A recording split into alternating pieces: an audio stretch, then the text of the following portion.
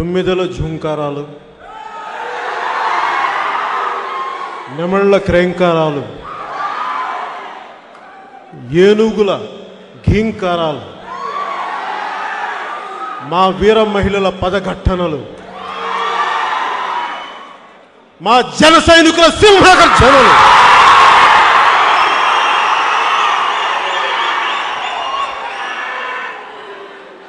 YCP గ్రామ సింహాల గోంకారం.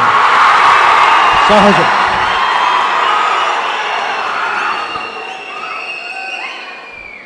బాబు మీకేనమ్మా? చూసేవాళ్ళకి మీకే వైసీపీ గ్రామ సింహాలంటే మీకే.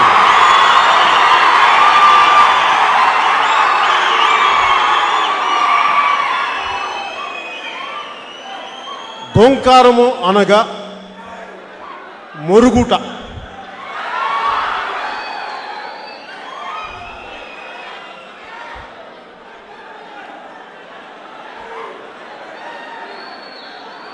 గ్రామసింహం అంటే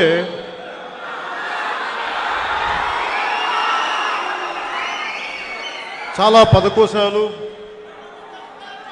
చాలా నిఘంటువులు పరిశీలించిన పిమ్మట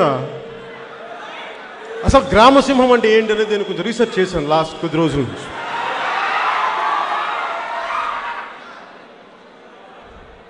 గ్రామసింహం అంటే సింహం అనుకున్నారు కాదు. అడవి సింహాలు మీరు అనుకున్నారు అవి కాదు అది గ్రామసింహాలు గ్రామసింహం బ్రౌన్ పదకోశం ప్రకారం కుక్కలు వీధి కుక్కలు.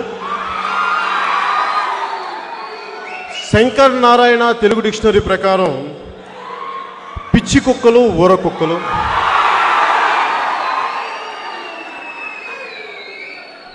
చివరిగా ఇంకొన్ని సందర్భాలు చివరగా సూర్యరాయాంధ్రుని నిఘంటు ప్రకారం కరిచే కుక్కలు అరిచి కరిచే కుక్కలు ఎక్కువగా వాగి పళ్ళు రాలగొట్టించుకునే కుక్కలు. ఇట్లాంటి ఇలాంటి ఇత్యాది అర్థాలన్నీ ఈ పదకోసంలోనే ఉన్నాయి గ్రామసింహాలన్నీ ఈ సన్నాసులకి వారికి జన్మనిచ్చిన తల్లిదండ్రుల నేర్పలేని సంస్కారాన్ని నేను నేర్పగలనా? మనం నేర్పను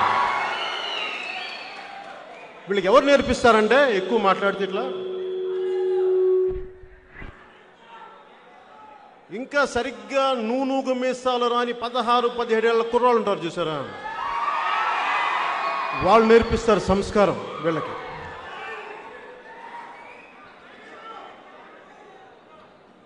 ఈ వైసీపీ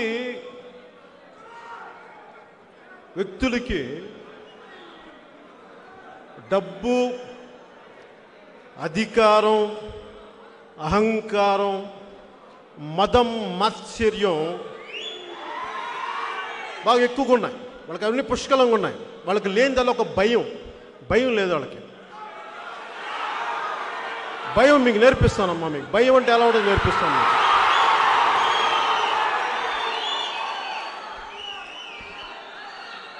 అలాగే అనాల్సినవన్నీ అనేసి కులాల చాటున దాక్కుంటే లాక్కొచ్చి కొడతాం. బయటికి లాగి కొడతాం. కుదరకపోతే భారతీయ శిక్ష శిక్షా స్మృతి ప్రకారం మీకు శిక్ష చట్టపరంగా శిక్షలు పడతాయి. ఆ బాధ్యత మేము తీసుకున్నాం జనసేన తీసుకుంటున్న బాధ్యత. నేను పార్టీ పెట్టినప్పటి నుంచి కూడా చాలా బాధ్యతగా ఉండేవాడిని. చాలా బాధ్యతగా మాట్లాడతాను. ఒక మాట తోలను. నాకు బూతులు రాక కాదు మాట్లాడలేక కాదు మాట్లాడకూడదు కాబట్టి మాట్లాడు. గుంటూరు బాపట్లో పుట్టినవాడిని నాకు బూతులు రావంటారు మీకు నా బూతులు వచ్చి వైసీపీ వాళ్ళకి మాకు రావా? మీకు ఇంకా తెలుగులో తిడతారు నాకు నాలుగు భాషలు తిట్టగలను మిమ్మల్ని. ఒకరోజు టైం ఇస్తే మీరు కోరుకున్న నాకు ఈ భాషను మమ్మల్ని తిట్టు పవన్ కళ్యాణ్ అంటే అలాగే తిడతాను నేర్చుకుందాడు మరి జనసేన పార్టీ పవన్ కళ్యాణ్ స్థాపించాడు.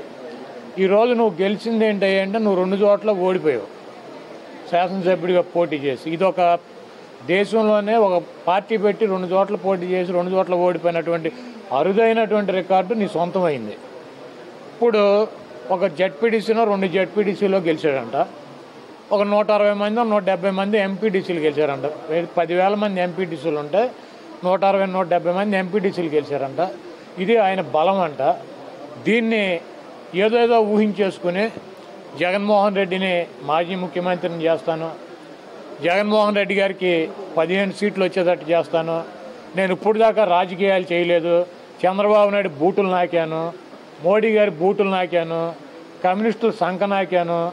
మాయావతి పార్టీ దగ్గరికి వెళ్ళి వాళ్ళని అలయన్స్ ఇమ్మని ఎస్సీ ఎస్టీ ఓట్లను చీల్చి జగన్మోహన్ రెడ్డి గారిని దించడానికి అప్పుడే ప్రయత్నించి వాళ్ళ కాళ్ళు పట్టుకున్నాను. ఇప్పుడు దాకా రాజకీయాలు చేయకుండా మరి చెత్త కబుర్లు చెప్పుకుంటా బజార్లన్నీ తిరుగుతా సొల్లు కబుర్లు చెప్తా తిరిగాను. ఈ రోజు నుంచి రాజకీయాలు చేయాలనుకుంటున్నానని చెప్పేటువంటి దయనీయమైనటువంటి పరిస్థితిలో పవన్ కళ్యాణ్ ఉన్నాడు. జగన్మోహన్ రెడ్డి గారు సింహం అంటాడు. రెండు వేల పద్నాలుగులోనూ సింగల్గానే పోటీ చేశాడు. పంతొమ్మిదిలోనూ సింగల్గానే పోటీ చేశాడు. పార్టీ పెట్టినప్పుడు కూడా సింగల్గానే పోటీ చేశాడు. ఏ పార్టీల మీద ఏ వ్యక్తుల మీద ఆధారపడకుండా ఈ రాష్ట్రంలో ఉన్నటువంటి ప్రజానికాన్ని నమ్మి ఆ పైన ఉన్నటువంటి దేవుణ్ణి నమ్మి జగన్మోహన్ రెడ్డి గారు పార్టీని నడిపేటువంటి వ్యక్తి. జగన్మోహన్ రెడ్డి గారు సింగల్గానే వస్తాడు రెండు వేల ఇరవై నాలుగు ఎన్నికల్లో కూడా. నువ్వు నీ పార్ట్నర్ చంద్రబాబు నాయుడు నువ్వు ఇప్పుడు అంటగాగేటువంటి భారతీయ జనతా పార్టీ అవసరమైతే కాంగ్రెస్ పార్టీని కూడా కలుపుకో. వెళ్ళి నువ్వు కాళ్ళు పట్టుకున్నా ఏళ్ళు పట్టుకున్నా బతిమాలుకో. లేకపోతే అంతకుముందు నువ్వు వదిలేసినటువంటి సిపిఐ సిపిఎం ఇంకా ఈ దేశంలో ఉన్నటువంటి రాష్ట్రం రాష్ట్రంలో ఉన్నటువంటి పార్టీలన్నింటినీ కలుపుకో. నువ్వు రా నువ్వు జగన్మోహన్ రెడ్డి గారిని నీ లైఫ్ టైం నువ్వు బతికున్నంతకాలం నీకు టైం ఇస్తున్నా. నువ్వు జగన్మోహన్ రెడ్డి గారిని నీ రాష్ట్రంలో నువ్వు మాజీ ముఖ్యమంత్రిని కనుక చేయగలిగితే రాజకీయాలు వదిలేసి నేను వెళ్ళిపోతాను నువ్వు రెండు వేల ఇరవై నాలుగు ఎన్నికల్లో నువ్వు కనీసం శాసనసభ్యుడిగా కూడా గెలవలేనటువంటి చోట దద్దమ్మవు నువ్వు.